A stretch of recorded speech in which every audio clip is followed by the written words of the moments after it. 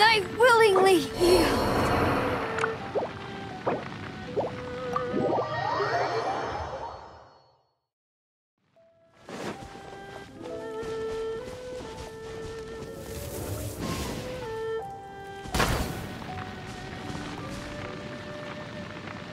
Life is not eternal.